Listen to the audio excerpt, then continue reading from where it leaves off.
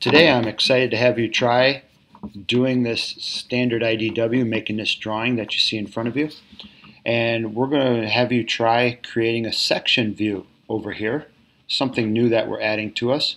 And remember we talked about section views because we are going to dimension how deep this pocket goes here. And it's never a good practice to dimension. We could have done it up here on a hidden line, but it's not good practice to dimension hidden lines. So that's why we're creating this section view. And here we're going to dimension to an object line to show the depth of these two pockets. Okay, so let's get started. Today we're going to start off on our home view and we're going to come up to our ribbon bar in the top. We're going to select new standard IDW, this icon right here, and click Create. Once again, we need to change our sheet size. It starts off the default as a D size sheet, so we're going to come to a model browser bar on the left-hand side, and we're going to go to Sheet 1, right-click, Edit Sheet. And here we're going to change our sheet size to size B, and click OK. Okay, looking good so far. Next, let's go get our two jam part. Hmm. We're going to come up to our ribbon bar. We're going to click our base view and select that. Then we need to go to our browse folder right here. Okay, the magnifying glass in the folder to open our file. We should automatically go to our H drive, this gray box, green line underneath of it, first initial last name 000.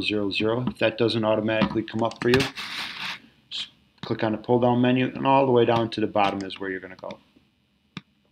Okay, and in your H drive, you're going to find your Jam 2 part and click Open. Once we have that selected and identified, we're going to click OK. Take your cursor, get the red dotty line that goes around the perimeter of your object. We're going to click and stretch this over to the left. Okay, now let's talk about creating that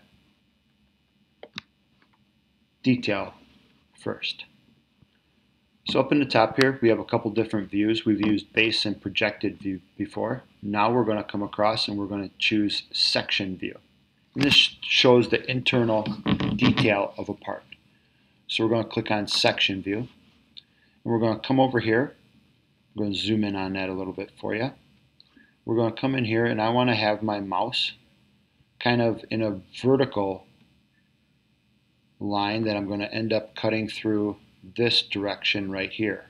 Okay, so I'm going to click and I'm going to start making my line come down. This is where I'm cutting through and that looks like a pretty good place to cut. If I'm not happy with that, I can always press escape key, click section again. Once I get that plus mark, I'm going to click and I can draw that down. Try and stay on a vertical if you want. Okay, so let's, here we go. Get your little icon changed to a plus by clicking, and then I'm going to stretch that coming down. Once you're happy with where you're at, we're going to click to place that line, and then I'm going to right click those of you on an iPad, you might have to go up to the top, use that little window shade pull down and select your mouse to get your right click. And then I'm going to select continue. Okay, automatically it takes and it positions my section view line so you can see my cutting plane line. Let me move that off to the side. You can see my cutting plane line here. I'm going to take my detail and I'm going to move it off here to the side. Click to place it. Nothing to it. That's how we make a section view. Okay, let's go back up. Now let's take care of the other view. We need a top view up here and we need a pictorial isometric. And in order to do that, we're going to click our projected. Okay, now when I selected my projected view, it doesn't automatically have that icon or that image attached to it. So I need to come down to my front view, click my front view, and now I have that attached here. So I'm going to position my top view, click to place it. And I want my pictorial isometric view, click to place that as well. When I'm finished, I'm going to right click and select create. Okay, now according to the dimensions that are on here, These are dimensions you guys are going to be putting on. I'm going to place those on as well.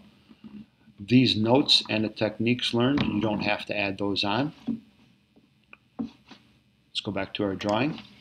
So now on our drawing, I'm going to go up to the top above my ribbon bar and I'm going to select Annotate.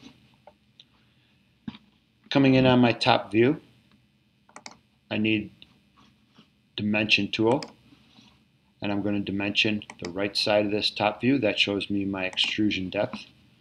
And this is where our detailed version, our section view version comes in where I can actually dimension to get the depth of that pocket.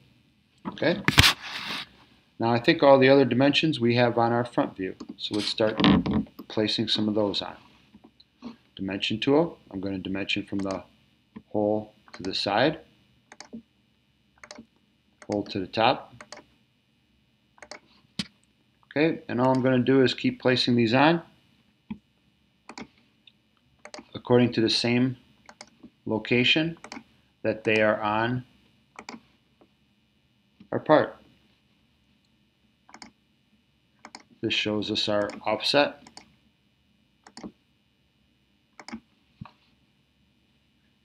What else do we have in there? Okay, nothing too bad. I need the vertical one for our hole. Okay, now let's take a look at our hole and thread tool. Okay, for dimensioning, since we have holes and threads, we're going to take and place this on here. Bring that down. That looks like a good spot. And let's see what else we're missing. We could do this angle dimension in here. So let's do our, go back to our dimension tool. Click on your angle line. Click on your horizontal line. Okay, now you see how it puts the 45 degree on our block? So that's just the order that we selected in. So let's do our bottom line first and then our angle line and see how that takes our 45 degrees and puts it on the outside now. Okay, that's a much better spot.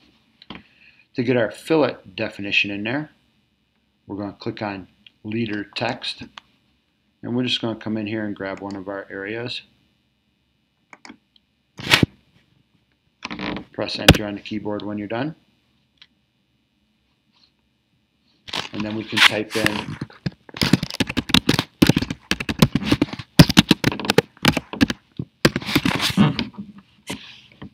all fillets 0.25 we can move that off to the side. Click on your text. Click on your text and you can move that out to the side.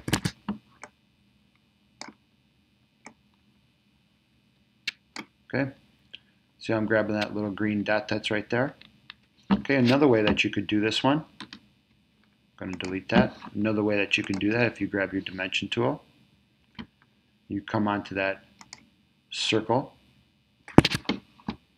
come onto the circle, okay, not getting the green dot, and it automatically places it on there for you. Then you can take and you can grab your text and move it off to the side and click click on your text put your cursor in front of the stuff that's in default, and then you can type all fillets. click OK. Both ways are acceptable and are fine. Okay, now we have that part done. Let's get it prepared in order to turn in. First thing we're going to do though is save it. We're going to go up to the orange file in the top left hand corner, click on Save, File, and go down to Save, As. Once again, this is going into your H drive. First initial last name 000, gray box with the green line underneath of it. File name is the same as 2jam is great. Click Save. Okay, now we're going to make it a PDF. So we're going to go up to the top orange file in the top left hand corner. Go down to Export. We're going to export PDF. Make sure this is going into your H drive. And click Save. Great job. Created that offset part. We used vertical and horizontal constraints in order to constrain these four holes in the corners. We did our offsetting lines. We did an angular line tangent to a circle and at a specific degrees.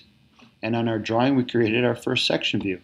Pretty awesome. Please don't forget to turn in this PDF version to Google Classroom. Have a great rest of your day.